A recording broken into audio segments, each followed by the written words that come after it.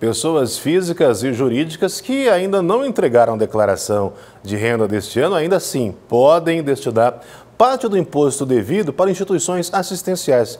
Se interessou? Assim, o contribuinte pode ajudar projetos do município onde mora e ter maior transparência de onde o dinheiro que sai do nosso bolso está sendo aplicado. O que é uma obrigação de muitas pessoas pode ser alívio para tantas outras.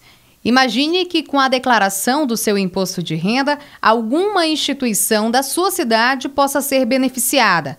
Essa é a ideia da campanha Eu Sou Solidário da Receita Federal, que o André colabora. A legislação permite a questão da destinação solidária, que é simples, a simples questão de um ajuste no imposto de renda. Ou seja, esse imposto que o, que o cidadão vai, vai remeter 100% daquilo que ele paga ela, ele vai diretamente para o governo. A lei hoje permite que 6% na, na, do valor que for é, como restituição, do, é, como for pago de imposto de renda, que fique no município e os outros 94% vá, vá para a União. Quem convive diariamente com tantas deficiências sabe o quanto essa ajuda é importante. Para o promotor de justiça André, ele é muito importante. Né? Primeiro, pela, pela ajuda que crianças e adolescentes necessitam. Eu sempre digo que as ações de crianças e adolescentes elas, são, elas precisam ser sempre atualizadas. Aquilo que nós temos não é suficiente. E certamente a sociedade é, que queira ajudar, não precisa ajudar com questão material, com questão de colaboração, mas pode ajudar no, no, no momento do acerto do imposto de renda com essa destinação, cujos recursos serão utilizados justamente para a gente minimizar um pouco a problemática de violação de direitos que acontece com crianças e adolescentes. O Hospital da Criança e Maternidade de Rio Preto faz parte da campanha e recebe a verba vinda da declaração de muitas pessoas, mas a quantidade ainda é baixa.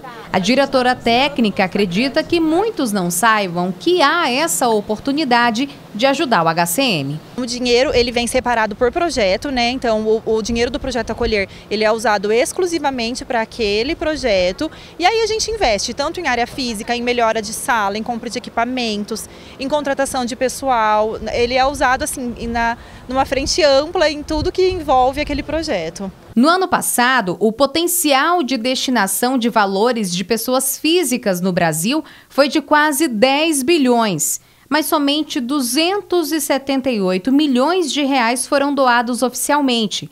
Já em relação a pessoas jurídicas, somente 774 milhões foram doados a projetos sociais e culturais, de um potencial de 3 bilhões. Essa destinação faz parte de ações sociais contempladas pelas leis de incentivo fiscal do governo federal.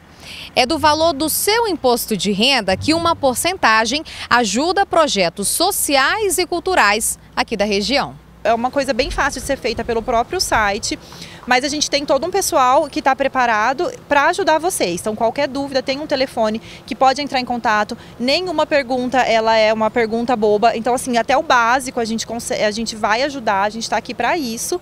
E é só entrar em contato que vai, vocês vão ter todo o suporte necessário. O processo de doação é simples, seja com a ajuda de um contador ou sozinho. A doação ela tem que ser feita né, pela opção por deduções legais, porque pela simplificada você não pode fazer esse tipo de doação. Então, na, na, por dedução legal, ele vai apresentar o valor né, que você teria que pagar de imposto. Desse valor, você vai lançar ali né, qual que é o, o valor que você está fazendo de doação.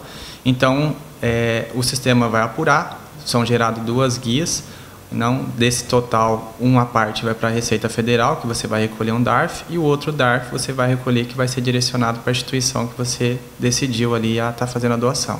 Muito bom, ajuda com certeza.